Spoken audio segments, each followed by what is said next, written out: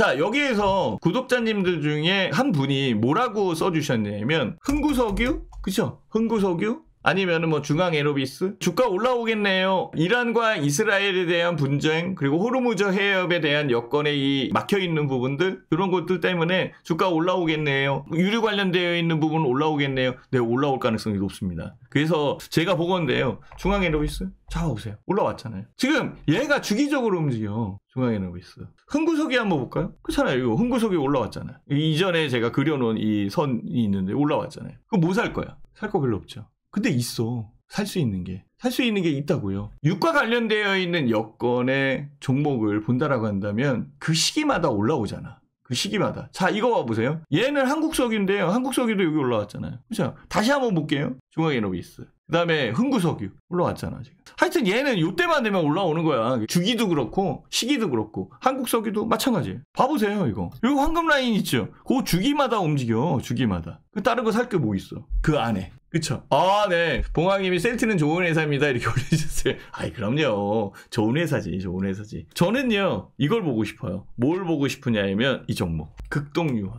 얘 안 움직였잖아. 그쵸? 만약에 산다면은 이렇게 고르는 거야. 어차피 유류에 관련되어 있는 부분이 움직인다라고 한다면 얘도 움직여야 될 거 아니야.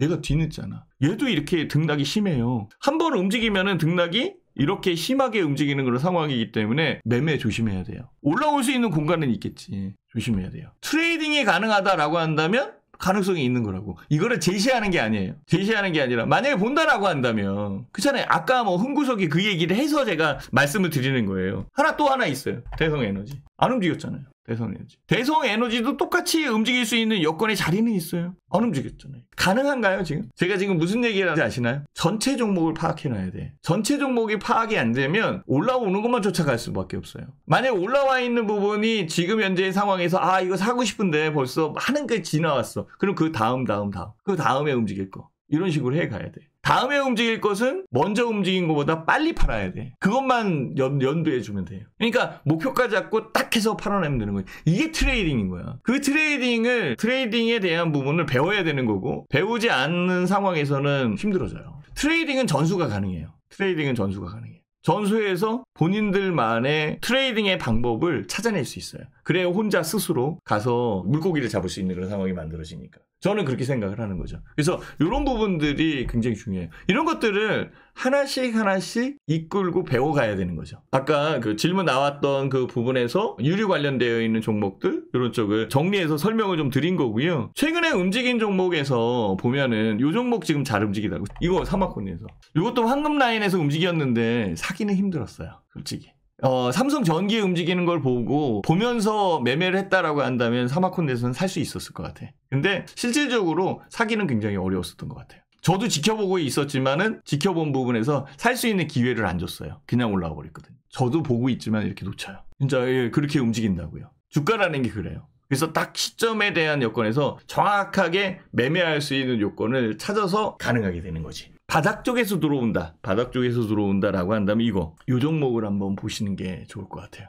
그쵸? 바닥 쪽에서 들어온 거잖아. 아직은 황금 라인 위에 있지 않아서 저는 나중에 황금 라인에 위에 있을 때 매매하려고 하겠지만 미리 보실 수도 있잖아요. 미리 볼 수도 있는 거죠. 미리 볼 수도 있는 그런 종목으로는 요게 괜찮을 것 같아요. 요 종목은 LG 이노텍입니다. 이제 알겠죠, 그죠? LG 이노텍. 이거는 미리 알려드리는 거잖아. 왜냐하면 가격에 대한 부분이 아직 제가 원하는 만큼 들어오지도 않은 그런 상황이, 어, 요거, 요거 지워야겠다, 이제. 어, 다 설명한 거니까. 안 들어왔으니까. 그러니까 이격에 대한 부분에 단기 현상? 단기 현상에 의해서 수익을 낼 수는 있어요. 저는 이 위에서 수익 내는 걸 좋아하고 그래서 미리 알려드리는 거예요. 물론 저는 나중에 살 거예요. 이런 종목들을 지켜봐야 된다는 거지. 하나씩 하나씩 지켜봐야지 매매에 대한 부분을 찾아갈 수 있는 거잖아요. 저는 그렇게 생각을 해요. 아까 구리 얘기했죠. 구리 얘기했을 때 딱 나오는 게 뭐예요? 대창이잖아. 그냥 보면 나오는 거거든. 그러면은 구리 관련되어 있는 부분에서 관심이 있다라고 한다면 바로 대창. 대창에 대한 부분 봐야지. 대창은 아직 움직이지도 않았어요. 이거 봐보세요 여기. 이게 움직였다라고 봐요? 움직이지 않았잖아요 지금. 그렇죠? 어, 가격적 부분에서 이렇게 움직이는 거. 근데요, 제 저는 대창을 얘기하지 않았어요. 이구 산업이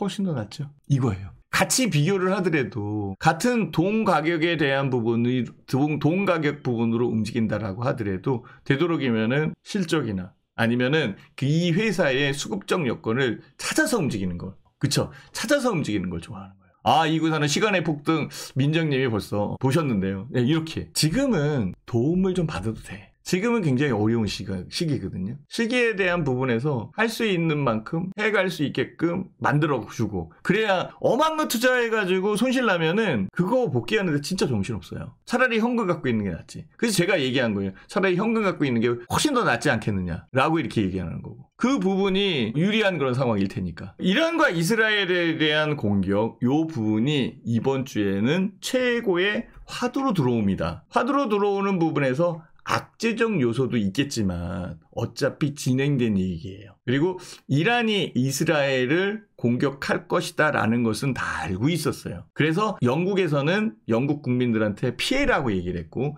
미국도 거기에 남아있는 미국 국민들은 빠져나와라 라고 얘기를 했어요. 만약에 빠져나오지 못할 것 같으면 아이언돔 안에 있어라. 아이언돔 안에 있어라. 이렇게 얘기를 했어요. 이란은 48시간 내에 공격을 하겠다고 공표를 했고 공표한 부분을 실행을 했어요. 공표한 부분을 실행을 안 하게 되면 기존에 있는 본인의 정부가 문제가 생기는 거야. 왜? 이스라엘의 공격에 의해서 그것도 자국 영토도 아니고 시리아 시리아 주재의 영사관이 폭격을 받아가지고 거기에 요인들이 죽었거든. 그러니 공격을 안 할 수 없는 거예요. 그래서 이란은 방공망, 방공망을 뚫고 300여 개, 200개 넘게 미사일과 드론을 발, 발사를 했어어요 미사일을 발사를 했는데 이란이 이스라엘의 본토를 처음 공격한 거예요, 이게. 예전에는 이란과 이스라엘이 친했어요. 그래서 이, 이라크를 뭐 대항하고 막 그랬었거든요. 어쨌든 이란이 이스라엘 본토를 첫 공격한 게 맞습니다. 근데요, 아이언돔이 있었는데. 미국도 호르무즈 해협 그쪽에서 드론 날아가는 거 요격을 했고 얘네들도 아이언돔에서 어, 요격을 했고 그래서 거의 90% 이상의 미사일들을 막아냈대요. 몇몇 개가 지금 떨어져서 뭐 어린이가 뭐 좀 다쳤다 뭐 이런 식으로 얘기가 나오는 거거든요. 근데요 정말 다 방어했는지는 몰라요. 제가 안 가봤으니까. 그 여기 계시는 구독자님 가봤어요? 안 가봤어요? 그죠? 그냥 들리는 얘기 뉴스에 대한 부분에서 아 그 정도래. 그래? 그러면 그러면 이란은 이렇게 얘기했거든요. 지금 공격한 거는 여기에 대한 보복 공격이다. 이 보복 공격에 이스라엘이 추가적 공격을 안 하면 우리는 여기서 끝낸다. 이렇게 얘기를 했어요.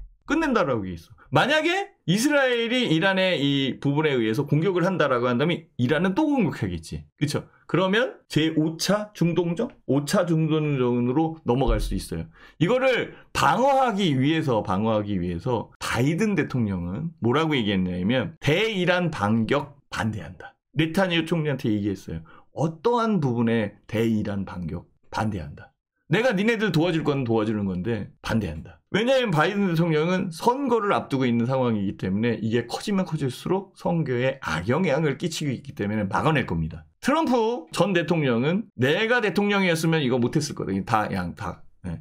전쟁이고 뭐고 그냥 네. 안 했을 것이다. 이렇게 얘기하고 나 그거 금방 막을 수 있어. 이렇게 얘기하고 있기 때문에 바이든은 쫄린단 말이야. 그러니까 어떠한 대이란 반격도 반, 반대한다. 라고 얘기했어요. 근데 이스라엘 같은 경우에는 이에는 이, 눈에는 눈. 이런 부분에 의해서 지금의 지역을 지킨 거거든요. 가자 지역까지 다 해서 헤즈볼라 이쪽을 다 몰아내고 끝내고 싶겠지. 그 끝내고 싶은 게 지금 어, 어, 목주 목적이야.